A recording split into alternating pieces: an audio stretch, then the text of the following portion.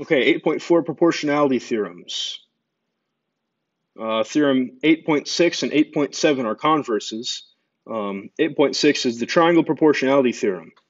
If a line parallel to one side of a triangle intersects the other two sides, then it divides the two sides proportionally. What that's talking about is this side here, TU, it is parallel to QS. So it's telling us that it divides the other two sides, the two sides that are not highlighted, proportionally.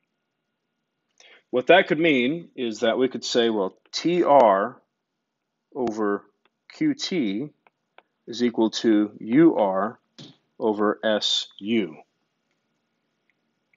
Right? We took the big piece over the little piece, and then in the other one, we took the big piece over a little piece. Okay? Now you can flip these, you can put the little pieces on top, but you have to put both little pieces on top. And I don't think I read it, but 8.7 is the converse. If a line divides two sides of a triangle proportionally, then it is parallel to the to the third side. So that would be saying something like, if you were given this, then you could draw this picture. Uh, number one, find YZ. So I've already drawn in an X there because I don't really want to um, have to use two variables, the Y and the Z together. Um, so we're going to kind of plug into this, this proportion over here. Um, we're going to put the long side on top. That way we can put X on top. X over 5 equals the long part 10 over 4. Whenever I multiply by 5, I get x equals 50 over 4, which is 25 over 2.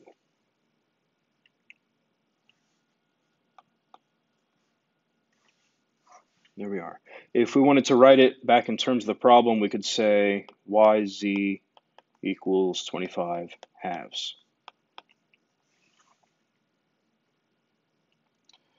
Eight point eight, three parallel lines theorem.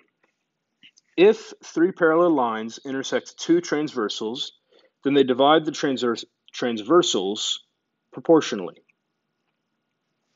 And this is kind of an extension of the triangle proportionality theorem. So we have lines L and M are the transversals, R, S, and T are all parallel. So here we have UW is this, WY is this here and then Vx is here, and xz is there.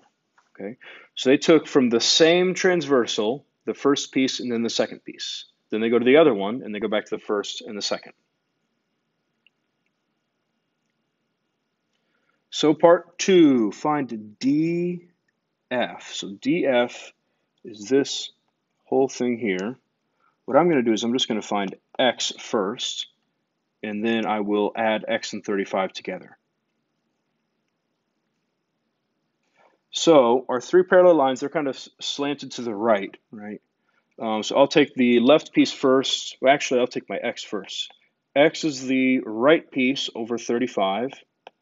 And then I'm going to go to the other transversal, and the right piece is 12 over 30. Multiplying by 35, I get x equals 12 times 35 over 30. And I'm just going to type that in the calculator. 12 times 35 divided by 30.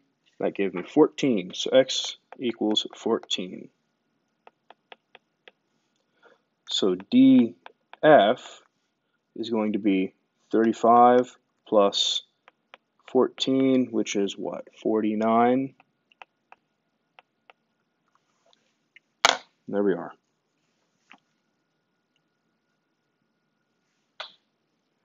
Uh, theorem 8.9, the triangle angle bisector theorem. If a ray bisects, cuts in half, an angle of a triangle, then it divides the opposite side into segments whose lengths are proportional to the lengths of the other sides. So let's look at this picture here and see what that means. Angle C here is bisected, right? We see the little swoops right there and it tells us that the opposite side, AB, is cut, not necessarily in half, but it's cut.